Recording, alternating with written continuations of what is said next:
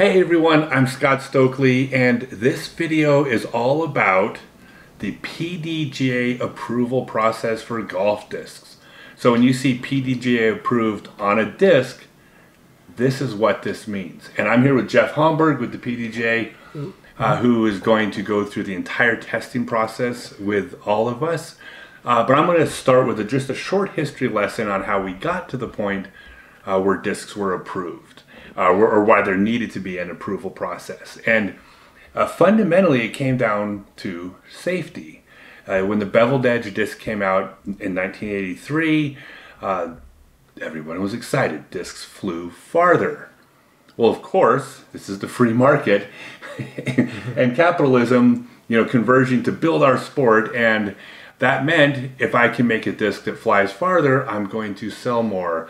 And the players wanted this that flew farther so they could score better. It was a very symbiotic relationship. The problem is there is a point of, I guess diminishing returns isn't the right word, but there's a point where discs can go from they fly farther to they become dangerous. And that was uh, first discovered, I believe it was in 84 or 85 when a disc, is that the Flazer? That's it. Oh, I'm so glad you, I didn't know you had one, or I knew you had one Okay, it started with this disc right here called the Flazer. So discs came out, they flew farther, they flew farther. They got a little bit sharper, but still not, I mean, not even as sharp as some of the modern discs, close, but not all the way. And then this disc came out. And this disc, uh, it did two things. Number one, it flew far. And number two, it sliced through carotid arteries if it hit the neck at the right angle. Um, this is this was the alert that uh, something needed to happen. Now, at that time, it wasn't uh, there wasn't a consensus about this. There were plenty of people who thought, "Let the free market decide." By the way, I generally 90% of the time think the free market really does get things right. Uh, 10% of the time, there needs to be intervention. This is cause for intervention. Uh, so the standards were created, and or you're going to uh, tell us a little bit more about those uh, those details. But I want to just set this up by saying the standards that have been put in place are a very simple way of testing discs. Uh, not the most precise and accurate, but that was on purpose. Uh, early on, Dan Roddick and Dan Mangoni and other people felt that if the process to approve discs was too uh, expensive, it would be a barrier to other companies entering the market. And if it was too complicated, it would be too easy to circumvent the system by finding loopholes in the complexities. So they said, let's just make this simple. Let's create a system that everybody could understand, the manufacturers could replicate in their factories, they could test discs, and it was very clear. This is probably going to pass, this one probably isn't, and we all understand the rules and people started submitting discs. The manufacturers, it was key for them to be on board. If they hadn't been on board, uh, it never would have flown. But the manufacturers recognized the need for safety as well um, at different times, different companies. But eventually, they all came on board, and that's where we got to uh, to today. So in the early '90s, Jeff, uh, Jeff took over testing discs, and uh, that's what he's going to show us now as a special bonus. And I'm so excited this is my first mid-range disc from Stokely Discs and the first putter from Stokely Discs and he's actually going to go through the process testing my very own discs. Uh, if they fail, I'll just edit it out and use CGI to make them pass. no, we're going to let him go through the process with uh, my discs. Uh, these both have names already, but uh, we're going to save that for the big release announcement. Um, I'm not going to do a whole lot of more talking. Uh, Jeff, Tell me about the process. These discs arrived with a new manufacturer saying, please approve my discs so they can be used in PDGA tournaments. What happens next? Well, what happened when these discs arrive, I put the date that I get them, and I typically do the testing right away. But in this case, uh, I knew Scott was coming and he wanted to film this, so I delayed this so everybody could see the entire process. But just as far as background on me, I've done every approval since 89. I came on board to be the chair of the Tech Standards Committee right around Thanksgiving of 1989. I didn't get any discs till 1990, so I've done all of them. uh, since that time. And one of my jobs also was to make to make the list of uh, approved discs as complete as possible because there were a, a several dozen discs that were approved, but there were a number that hadn't been actually listed as approved, and maybe a little bit ironic. The, the company we had the most problem with was the DGA because Ed Headrick was used to just having anything he made, uh, it was just automatically approved because basically Ed he was God as far as disc golf in the PDGA. May I He jump in here? Yeah. So, are there any problems with the modern DGA? Uh, not really. No. So I want to be really. clear about this. The problem wasn't DGA. The problem was Ed. Yeah, it was put it Ed, bluntly. You know, I mean, it was his baby, and I understand it. He had been in charge of everything, and it was kind of hard for him to let go. But he was one of the people I had Sure. the, the hardest pro- uh, time bringing him into the fold. Mm-hmm. But you know, he- Ed and I, and I loved Ed. You know, I mean, I, I probably would talk to him. We'd have a half hour call almost every month, and usually it was him calling me, telling me what he wanted me to do, and I always heard him out. I rarely did what he had said, but but you know, I had more concerns than just him because I had to balance the concerns of all the companies. And you know, at that time there were only six companies: the DGA, Wham-O, there was Destiny, there was Innova, Lightning, and Discraft, and that was it. You know, last year alone I had 33 new companies. So you know, in the year before 28, and the year before that 25. So here in the pandemic, we're on a whole nother trajectory. I had 275 approved discs last year. You know, it, I can't even tell you how many years it took before I got to 275. you know, in the in the beginning. But anyway, we're we're in a few months we're going to pass 2,000 discs. But okay, um, normally what I do when I get in a, a disc for testing, I also get alerted that I have a disc coming to me because when anybody submits a disc certification request form online, an automated email comes to me and there's a link to where I can download a, a form and print it out uh, in an Excel file. In this case, I didn't have the disc certification yet, so I'm just using another form. And he hasn't given me the final name yet, but but I do have a, a name that's just being used uh, as a temporary uh, name. So this first one was M1D2. That's this disc, and then the uh, mid-range type disc. It's uh, D1, or rather M4D1. We have multiple prototypes, so this is our way of keeping track of molds, variations, plastics, temperatures, cooling, all the different variations. But they will have actual, real fancy, cool names here shortly. Okay, so I guess I'll go ahead and start on the testing. I'll do this disc and I'll do all of the tests of that and then I'll go on to the next one. Actually, I may wait on a couple of the tests, the flex test and the rim configuration. They take a bit more time, but these others are fairly quick.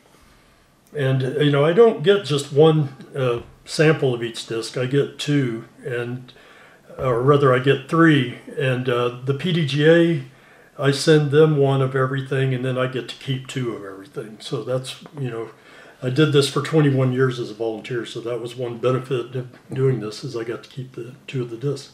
So I use uh, a set of calipers, and this particular set of calipers they're designed for trees, measuring the diameter of tree trunks.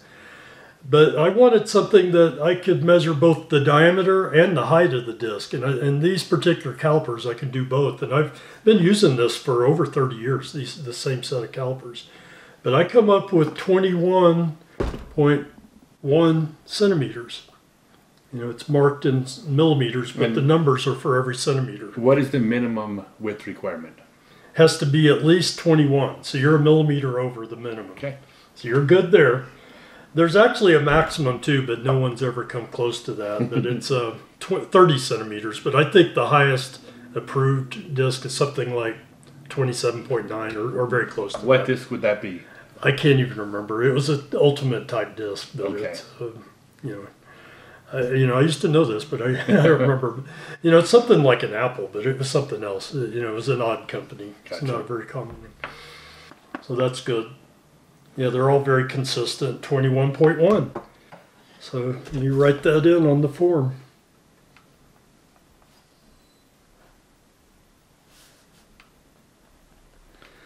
And the, the weight limit is based on the diameter, so it's 8.3 grams for every centimeter in diameter. So you multiply 21.1 times 8.3, and that comes up to 175.1.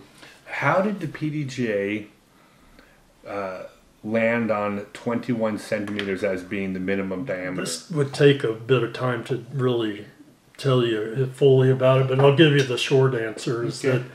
that there was a, a a ballot that was sent out to everybody who was a PDGA member. It was like the size of a postcard. And you had to go in and fill in. Well, they had it broken down into certain size categories, I think, or it was all based on centimeters in diameter and a certain uh, weight in grams. And I think every half gram in, in you know increment, it went up to nine. And then if you wanted it to be over nine grams per centimeter, you had to fill in that number. And uh, as an aside, Stork told me when he filled out his, he put infinity. So if you average infinity, I guess there would be no weight limit, you know. Right. But anyway, that's not what ended up happening. And what they did is not what was actually supposed to happen. They were supposed to just go by what the most common numbers were, that you know, like a vote. But what the commissioner of the PDGA decided to do in the end is took all of those cards and then averaged them.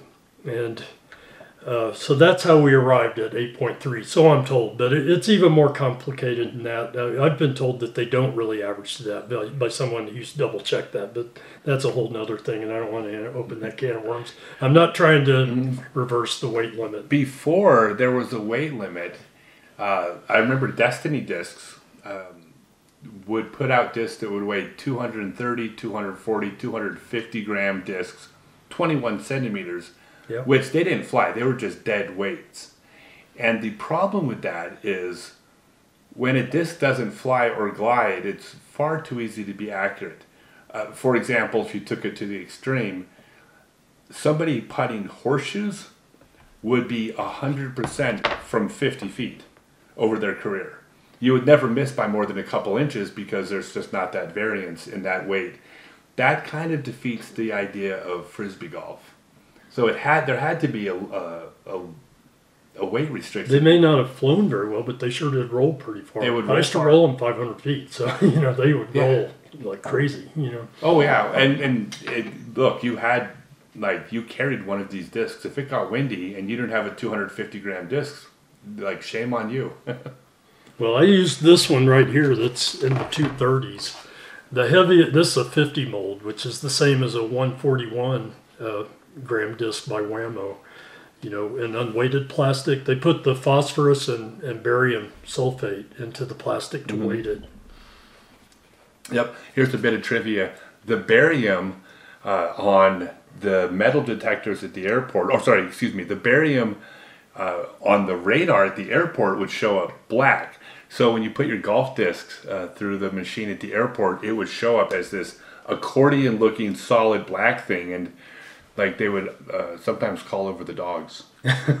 they would. And they would go through our, their bag and realize they were Well, things have Pretty changed because you know I came back. Uh, I went out to give, um, and I I taught four people how to do all the testing at the PDGA at the IDGC.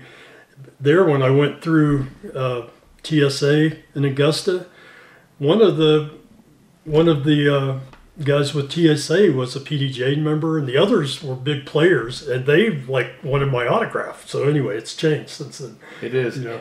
Uh, here's another interesting anecdote. So uh, now the manufacturers have basically agreed we're not going to make discs over the weight limit. Sometimes there's accidental fudges by a fraction, but for, you know the spirit of the game is kept true. Uh, that wasn't the case in the early days, and when super puppies, for example, were allowed to weigh up to 174.9 grams, I think um, people would have 250 gram super puppies in their golf bag. Because it turns out with a little bit of acetone you can erase that 250 and you can write in 174 and nobody i'm sorry back in those days that i mean that was considered gamesmanship almost. I mean people would do that. There were no uh, no tournament director had a scale at tournament central weighing mm. discs Well, the week, couple of weeks right after they went into effect, they, they did have scales. They did? You know, and, and people were taking their discs, and I was one of them, and grinding them down on the sidewalks to get them down. And, you know, we didn't want to take off any more grams than we needed. We'd go back and forth to the scale.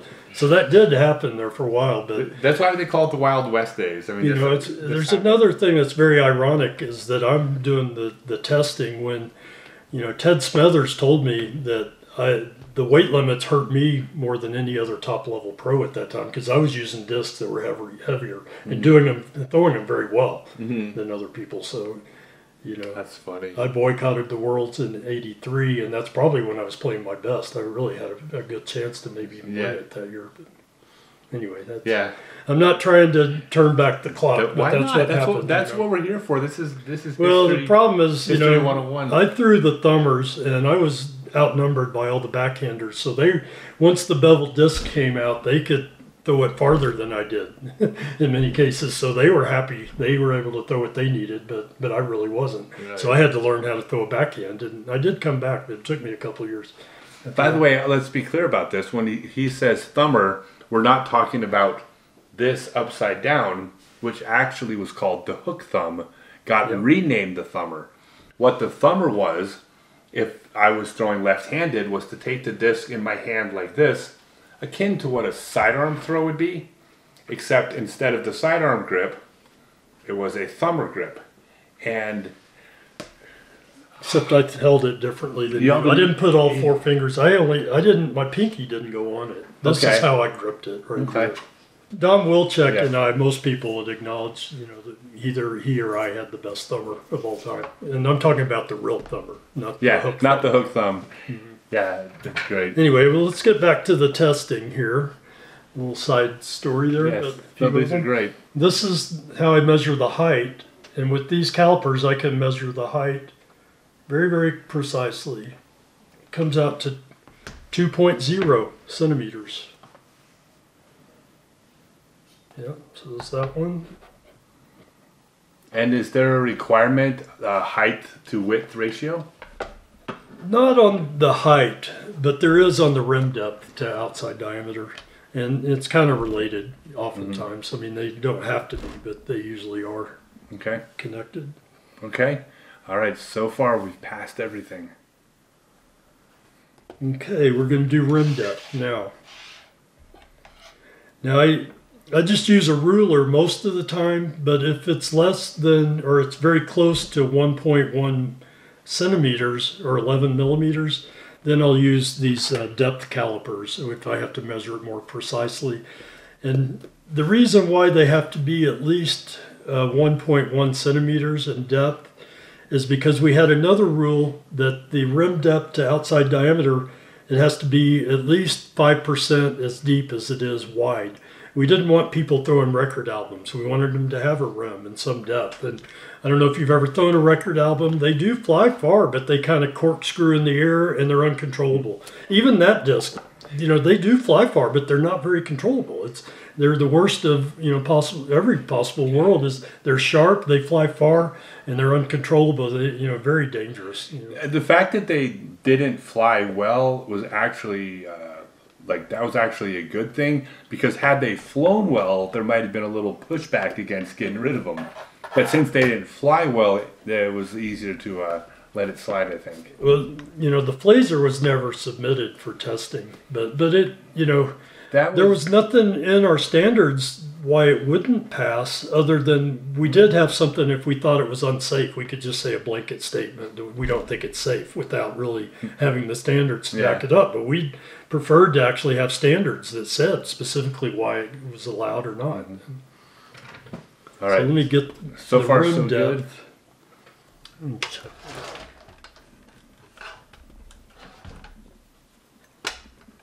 See this a little better.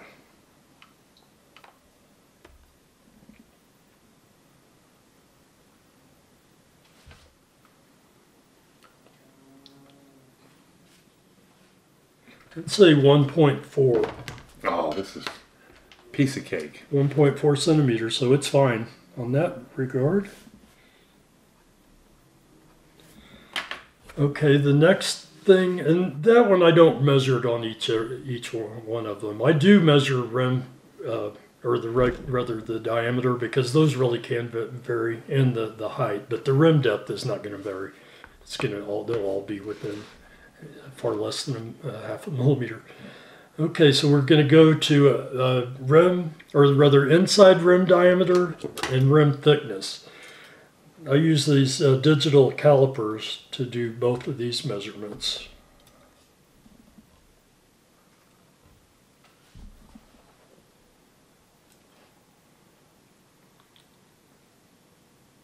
So I rounded off to the nearest, nearest uh, millimeter so or a tenth of a centimeter, so that would be 1.1. I'm going to check that again though. What is this millimeter thing you speak of? I'm not familiar. Well, there's 10 millimeters and a centimeter. I'm kidding. I've been to Europe. A thousand millimeters and a meter.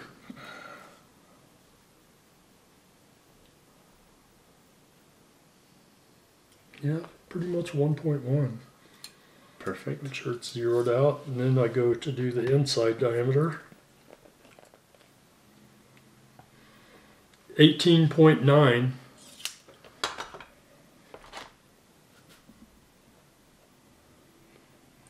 Okay, and if you multiply the rim thickness times two, because you have it on two sides, and add that to the inside rim diameter, then it should equal the outside diameter. Sure. Or else I measured something wrong.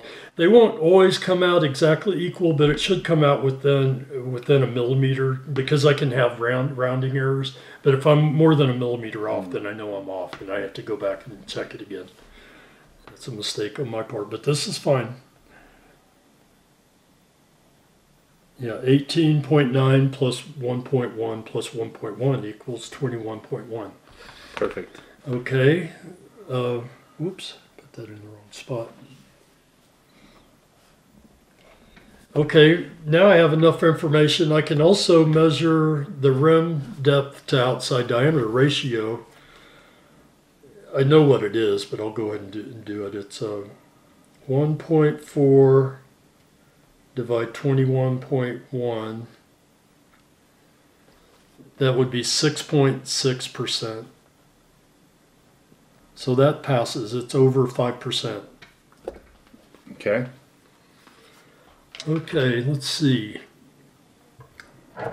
Now it's how I measure uh, the uh, flight plate thickness with the micrometer. Now, why does the flight plate need to be a certain thickness? Because I would think that it, the thin, if it was thinner, it would simply just break. There's not exactly a standard on it, but uh, if you remember the 10 meter brick, there was like a pillow like thickening in the middle of the disc from the Quest uh, no. applied technology. And we came up with a standard that we allowed this thickening, uh, but we did we constrained how big it could be and the way it had to slope to the flight plate. And one of the few terms I actually did define is a term I've never heard from anybody else, but called the rim plane. We wanted, we came up with the standard where the flight plate has to be at least five millimeters from the rim plane.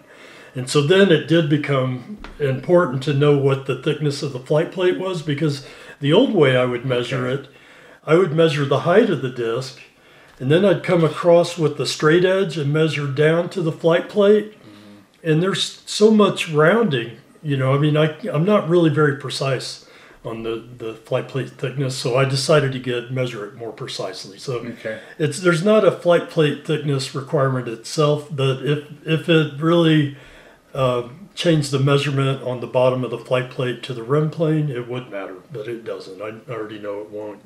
You're well more than that distance. But anyway, I, I've been measuring them anyway because I was wanting to know what the variability is. They mostly, I still round off to, uh, you know, it, they're like two millimeters, most of them. There are some made out of silicone that are less, that are close to one millimeter. And there are a few discs that are thicker, uh, but not very many They're up. They uh, round off to over three. I think I had one that actually was close to three and a half millimeters, but it's very rare for them mm. to be that much. And and one thing too that Dave Dunipace, when he formed uh, Innova, he was trying to shift that ratio between the rim to the flight plate. And because in the older Wham-O discs, a lot more of the weight was in the flight plate and not very much in the rims. He wanted to move more of that weight out to the rim and Right. make the flight plates thinner. And that, you know, that does have an, a big effect on aerodynamics. Yeah, that is the, that kind of is the standard, Mhm. you know, overarching philosophy is you know the weight distribution being on the perimeter, not the center. A paper plate being the the one extreme of no weight on the rim, and then an Mm-hmm. Aerobie being the the other extreme, which is all the weight on the rim. There's zero weight in the middle, and uh, one flies better than the other. When I do this, this particular micrometer is actually designed for measuring sheet metal. And of course, plastic's a bit different from metal, so it's not as a discrete surface as much. It's a little squishy. So I kind of go back and forth on it until, I mean, I, I don't want it to just hold up the disc. I know that's in too far. But I want it to just barely touch. So I get as close as I can. Let's see, I gotta go a little more. So it's uh, it's pretty thick. You know, your flight plate is. Uh, I mean, it's still going to be round off to two millimeters, but it's like two point forty six millimeters. So that's fairly thick. You know, but but not uncommon for a putter though. No, let's say putter, yeah, putters are a little different. Yeah, that's a different animal. So I keep track of this, but it's not actually published. I've been trying to collect a lot more data on flight plate thickness. Uh, there's one other test I haven't actually done, but it's pretty obvious it's going to pass. But I'll show you that in Mhm. just a second. We'd love to see it all. Okay, and that's the 16th inch radius gauge. Um, back in 94, I wrote this article, which can see right here, and it's actually available on the tech standards section of uh, pdga.com. We'll put a link in the in the comments, or in the in the uh, description. Yeah, I'll send you the link to it. It's but you know I encourage everybody to go on online and look at what we put in there. I've been putting a lot of data or uh, analysis of data too, you know, because I'm I'm a researcher and I love data. But this this is the 16th inch radius gauge. You can see that, so.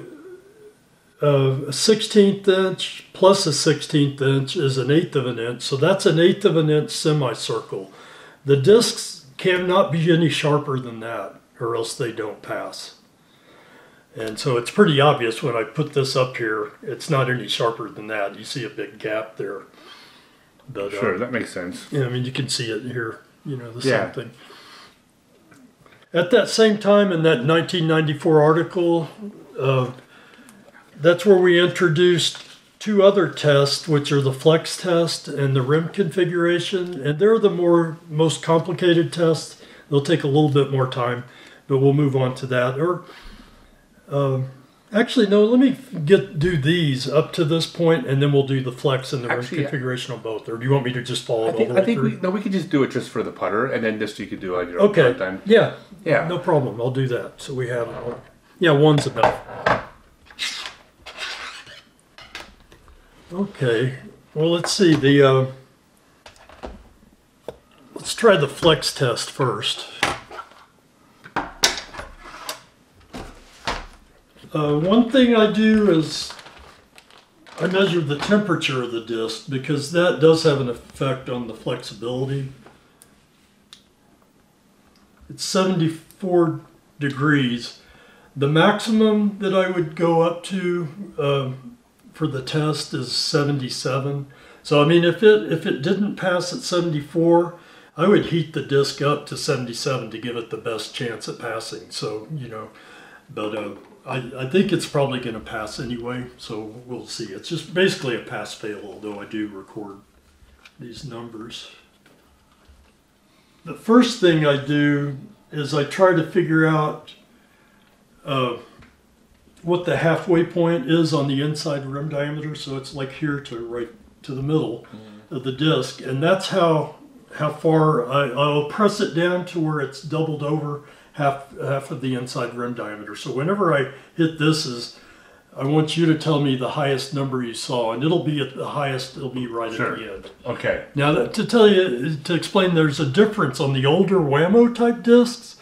They, you, when you press them down, they buckle, and before you get to the halfway point, you've already reached the highest point, the highest amount of mm-hmm. pressure, and that's the number I would take. But on these wider golf discs today, the highest number is right at the very end. Okay. So, So the highest number is going to be what do you see? 12 and a half, 12 and three quarters. Okay, we'll, we'll just say 12 point and three quarters. Okay. Whoops, that was number two. Me keep, keep track of which one it was. I got did it out of order, but it doesn't matter. Okay, so here's the number one disc. And that got up to 13. Okay. Actually, I do this three times. I, I should have done this more the first time. What'd you get then? Yeah, 13 again. 13 again? So let, let- you want to okay, do the, I'll do it three. that? That got to 13 and a quarter. Okay, I think I pressed a little bit too hard. We'll just say 13. Okay, do you want to do the first yeah, let me again? do this one two more times. And it might get to 13 again. Yeah, it was like 13 and an eighth. Okay, 13, that went to 13, um, like thir- past the 13 and a quarter. And that went to 13. okay. 13, 13 and a quarter, and then 13. Yeah, I think so. Okay. It might have got to 3 eighths. Then we got one more to do. You ready? Yep. That was under 13. Okay. And that was 13. Uh, that that jumped ahead. That's got like 13 and a half almost. Okay. It won't. It won't. Matter. So where you so are- the first one was less than 13, so Maybe. 12.75. Yeah, What I do is I take the middle number. Um, of each one. Yeah, so there I have two 13s and a 1325, so I'm going to go with that one. So where These you are, are the two in between could, this. could vary a And then bit. between these, I take, they're all the same, but I would take the middle one between those three. So with the uh, the flexibility test, this is a, an example of what I meant. That there are more sophisticated testing methods. Uh, you could actually get more complex with the rim sharpness could determine flexibility at a certain pressure or where you feel the most pressure, and it would just get so convoluted that like manufacturers won't even know where to, to start testing their own discs and God, the more complicated it is, the more easy it is for someone to circumvent the system. So this is just a There- simple way of, I mean, there are, you know, people in plastic engineering, they're way more sophisticated for sure. And I, I have some of their textbooks. You know, I've actually studied what they do, engineers. But, you know, Ed Headrick, his idea is that the PDGA, he thought that we would have an outside tester and they would pay them to have it done. And so when I came on board, you know, I, I don't think they'd actually been charging, but we started charging $100 uh, at that time. And that, you know, supplied some money to the PDGA. It wasn't a huge amount of money, but, you know, we didn't have a lot of Back money. then. So back then it really did help. Yeah, that's a lot of money But, back but then. I actually looked into what it would cost to hire somebody. And, you know, of course, the most rigorous would be like Underwriter's Laboratory. And then at that time, I looked into this, and this is like 30 years ago. It was going to be $10,000 to measure one thing. right, which me You know, as a new afford that. manufacturer, no, of course There's no way you could afford that. I mean, we put out too many pieces of material that get approved. I mean, we're getting close to 2,000 pieces of equipment that are approved. Actually, it's over that when you add the targets with the discs. You know, we're up to like 2,100 Mm-hmm. approved objects. But anyway, uh, it's unnecessary. I mean, it's this. Uh, we wanted to have some kind of flex ability test and, and in the words of Stork he said that some medicine's going to need to be taken. There were some that were so stiff we made the the uh, limit you know to where some were made to where they weren't allowed anymore. Uh, as far as the sharpness we did it a little bit differently. We looked at what the sharpest disc was at that time and that was the discraft eclipse. And we set that as the limit. Nothing could be any sharper than that. And so we came up with a different test. I mean, uh, and it's using what's called a contour gauge. This device right here, and it's also in that article that I wrote back in '94. What I do is I let me just get them all lined up here, and you push this in the leading edge. You can see what it does is it creates both uh, a negative and positive image that's stylized of what that edge is. It's stepped a little bit, and they're, these are called pins. What we do is we come in five millimeters from the outermost probe and make a line that's perpendicular across, and then I sum up the length of each one of those, but I round it to the nearest quarter of a millimeter. And then I sum those up. And if it doesn't, if it's not over 26, which is the measurement for the eclipse, then it doesn't pass. But I will tell you that I give, you know, if it doesn't pass, I give uh, every disc multiple chances. I'll, I'll go up to 10 times. I'll press it in one after another and measure it multiple times. I'll, I'll pick the one that looks like it's going to give the best number. I give it every possible chance to pass. So if it doesn't pass, after I say it doesn't pass, it it, it really does not Well, pass. there's no excuse. I mean, I, I mean, I knew coming here that my discs would pass because the standards are clear, and we can test these discs as we manufacture them. Right. If they don't pass out of the machine, they don't go to market because they're not going to pass. So that's actually great. I, I was going to tell you. I This comes out 17 on that test. So, you know, this fails by a lot. I was going to ask you that after we're done. I was going to say, can I've we? tested a number of them. You know. yeah, I, I want to. Uh, well, after we're done, I want to go through the testing process in the Blazer as a side, as a bonus video. Here's one other, I'll show you, uh, a disc that doesn't pass. It was the Monroe But the reason it doesn't pass is it's not, it's not uh, 21 centimeters. It's smaller than that. That was designed by Tom Monroe. Okay. Well, the Flazer was Dan Berman and Yeah, it's another guy back east. But yeah, Berman was the player. Yeah. The other guy's the nerdy. Berman's in my guy. book. We we I love Dan Berman, so Well, he threw about as far as you did. I- yeah. so, you know, he hit a hell of a no, he didn't. Well, not well. At one time he did. he broke the record too. Not cool, not quite as far as me. No, I love Dan. Indoor record though He, too. he does have the indoor record. I'll give him that. Um, no, I love I love Dan, but yeah. By the way, this thing right here, it doesn't not pass the flexibility test because it flexes about as much as porcelain. Yeah. No, really, this thing is Well, that brings up a trivia question. What was the me. first disc that was removed from the approval list? the first disc removed from the approval list.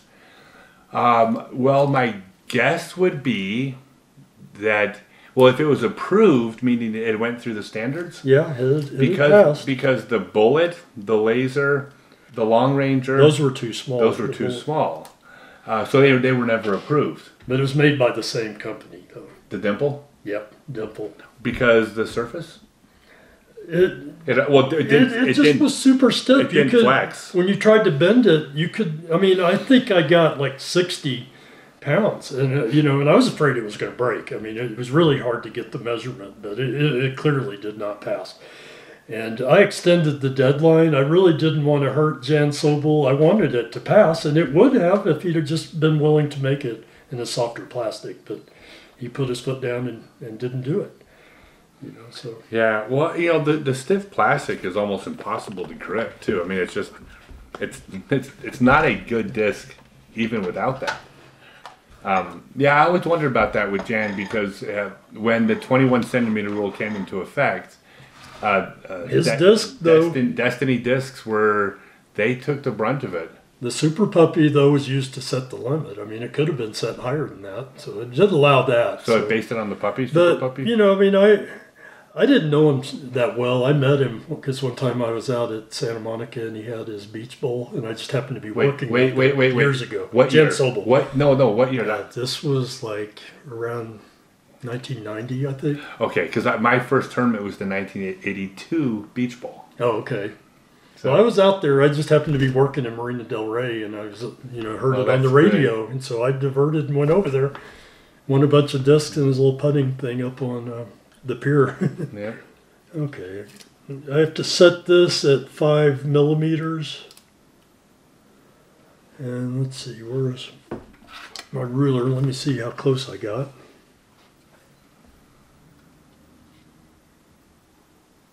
I think I'm a little short. I'm about a half a millimeter too short.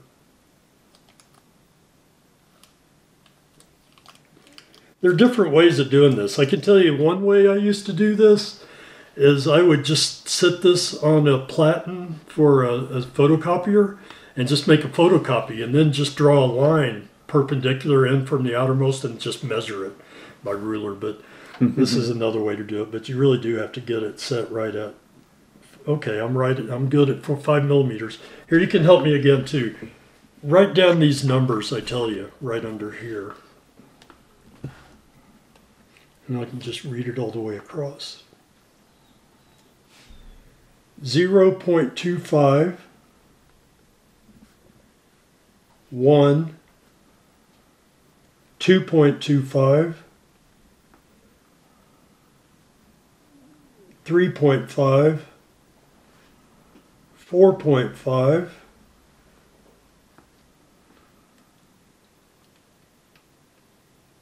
Four point five, four point seven five. How many numbers do you have there? One, two, three, four, five, six, seven. Okay, let me press these pins in. It's three, four. I probably should have written them down. six, seven. Yeah, I usually do because I- I then I have to add no. them up at the end. Okay. I can add them for you in my head. Okay. Four point seven five. Again? Yep. Okay. five, five, five, five, four point seven five, four point five, four, three point five, two point seven five, one point two five. 4.75,